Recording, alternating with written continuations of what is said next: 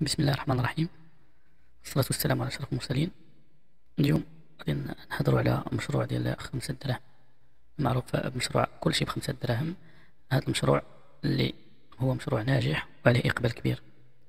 مشروع كل شيء بخمسة دراهم من المشاريع الناجحة في المغرب لذلك إذا كنت مهتم بهذا المشروع مرحبا بك في هذا الفيديو اللي غتقوم به قناة فكرة مشروع شنو غادي نقولوا؟ غادي نطرقوا فيه شنو غادي تحتاج شنو غادير في هذا الفيديو غادي نتعرفوا مع بعض على مشروع كلشي بخمسة دراهم هذا المشروع اللي أصبح من المشاريع الرائدة عند الكثير من الشباب المغربي.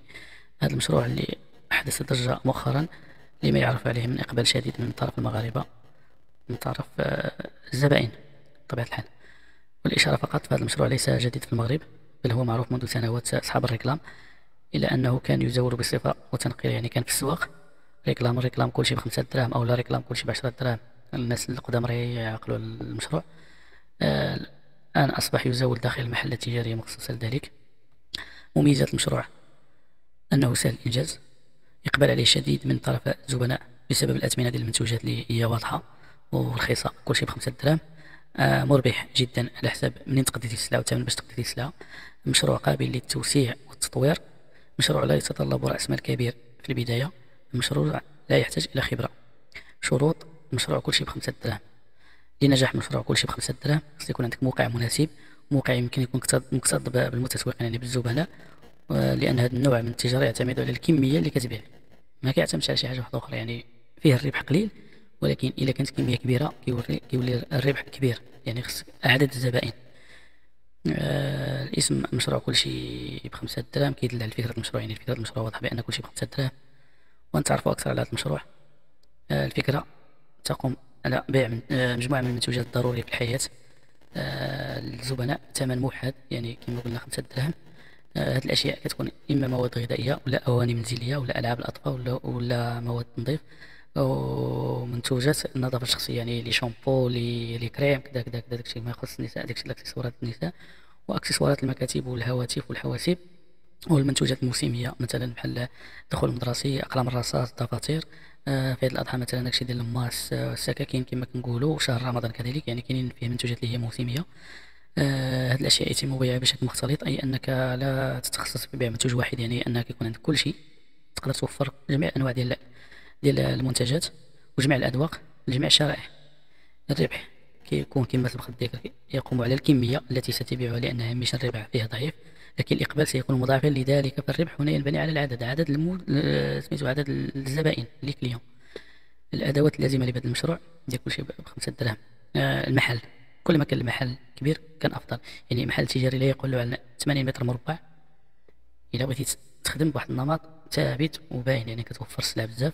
آه الرفوف les étagères تكون متسعة في العرض يعني باش تكون متسعة باش كتحط فيهم السلع بزاف. آه كاميرا للمراقبة حيت كيكون تقريبا نفس système les supermarchés كلشي كيدخل يتقضى شنو خصو كيهز داكشي اللي بغاه في سله وكيجي يخلص. يعني ضروري عاوتاني خصك سلات صغيره ومتوسطه الحجم لتسوق الزبناء لافته جذابه للمحل التجاري يعني واحد الاسم ديال المحل واحد اللافته اللي تاثير على ال attention ديال الناس اللي دايزين. إضاءة جيدة باش الناس يتعرفوا على المنتوجات ويشوفوهم. وتتبع واحد خريطة العمل خريطة العمل كتمثل في تقدير المنتوجات وكيفاش تجيب المنتوجات. وإلا كنتي كتنوي مثلا إنك دير هذا المشروع متنقل يعني بشي سيارة ولا دير الأسواق راه عاوتاني حاجة واحدة أخرى. عربة اللي غتضيع تحط فيها المنتوجات مثلا ولا سيارة ولا فراشة. آه، بالنسبة للمنتوجات المنتوجات يمكنك الحصول عليها. يمكنك الحصول عليها من في مدينتك مثلا. كاين الناس اللي كيوردوا سلعه كيتقداو من كازا وكيجيو يفرقوها في مدينتك على حسب المدينة اللي انت فيها. ولا انت كتمشي تجيبها من كازا إلا كانت عندك السياره يعني كاين المناطق في كازا مثل كراج علال درب السلطان درب عمر. إلا وصلتي لكازا ضروري غتمشي غتلقى وباش سميتو إلا كنتي غادي دير يعني هادشي متنقل يعني آه، الحاجة الباينة والواضحة اللي غتربح فيها هي الأسواق الأسبوعية. وكتكون قبل ما تتقضى كدير دراسة دراسة للحوايج اللي غادي تقضاهم يعني كيكون عليهم الطلب من طرف الناس حيت انت ما عندكش محل يعني إلا ما تقداش اليوم يتقضى يعني أسبوعي يعني خصك تشوف الحوايج اللي كيتمشاو لك يعني في كل سوق شنو هما الحوايج اللي كيتمشاو لك بزاف إلا كنتي كتملك محل هذا أحسن. غتحط فيه منتوجات جد متنوعة والطريقة ديال باش غتبريزونتي المنتوجات ديالك يعني غتخليها ان تجيب تجذب الزبناء أكثر. آه، يعني في هذه الحالة ديما كنقول لك غتحتاج إضاءة جيدة للمكان ديالك و سميتو الصباغه الحائطيه الصباغه الحيط غتكون يعني شي دهان يكون لامع وذو لون فاتح كيبين المنتوجات المعروضة يعني دائما العرض العرض والمحل وتنظيم المحل. هذا هو المهم في هادشي كامل وسميتو هامش الربح كينقسم لثلاثه الأقسام اللي كيما داروا الناس من قبل في الدراسات ديالهم ان كاين السلع السلع اللي كيخليوك جوج دراهم في الربح يعني كتبيع بخمسة دراهم راه حتى بيع جوج دراهم كاين السلع اللي كتربح فيها درهم ونص كاين السلع اللي كتربح فيها درهم كاين السلع اللي كتربح فيها أقل من درهم يعني من الناحيه ديال السلع اللي فيها جوج دراهم كتكون قليلة قليلة بزاف يعني ضعيفة سميتو من ناحية الإقبال بالنسبة للدرهم واحد يعني كيكون عليها تقريبا إقبال متوسط إلى جيد واللي أقل من درهم هي اللي عليها إقبال كثير يعني هذو السلع تقريبا بحال بحال داكشي المواد الغذائية وهذه كيكون فيهم واحد هامش الربح ضعيف. يعني هما اللي عليهم الإقبال بزاف وإقبال يومي يتبعوا يوميا. آه، بالنسبة للتكاليف ورأس المال اللي غتحتاج باش تبدا المشروع ديالك يعني إلا كنتي غتحتاج تجهز شي عربة بسلعة ديال 5 دراهم يعني أقل من 5000 درهم راه كافيك بما أن فكرة المشروع وفكرة القناه هي آه سميتو فكرة مشروع بأقل من 5000 درهم. يعني 5000 درهم الخير والبركة. فيها بزاف ديال ديال السلع يعني توفر السلعة لواحد المدة طويلة. وبالنسبة للمحل يعني كنصيحة حتى لديك 50000 درهم. تقريبا تقدر دير قل على حسب الحجم ديال المحل. وعلى حسب لي زيطاجير اللي عندك واللي غتوفر باش تحط فيها السلع ودائما كما سبق الذكر بأن المنتوجات يقدر يجيوك حتى المحل تقدر تمشي تقضى إلا كانت لك مثلا مدينة الدار البيضاء قريبة ليك. وكل نوع يعني خديتي خصك تأخذ منه تقريبا واحد 20 حبة يعني تضرب على حساب 20 شخص غيجي ياخذ داك المنتوج يعني ما يمكنش أنا تحط خمسة الحبات ولا خمسة الحبات من المنتوج غيتسالك المنتوج غيبقى لك المحل خاوي الا دخل لك واحد العدد كبير في النهار يعني المحل يوميا غيبقى يبان خاوي. يعني الناس غيولي يهربوا من عندك. علاش؟ ما كيلقاوش داكشي اللي بغاو. كيشوفوا السلعة باش يجيو ياخذوها كيلقاو اللي سبقوهم خداوها. يعني ضروري خصك توفر السلعه يعني عندك stock. اللي كنقولوا خمسين ألف درهم ستين ألف درهم يعني كل ما وفرتي السلعة وحطيتي stock كيكون أحسن. والمنتوجات يعني اللي كتكون مفضلة عند الزبناء هي المنتوجات الكبيرة يعني شي حوايج كبار مثل الحوايج الحوايج الصغار داكشي راه ما صالحينش يعني ضروري يكونوا ولكن يعني كنت كتكثر من الحوايج. يعني مواد التنظيف آه، المواد الغذائية إلى آخره.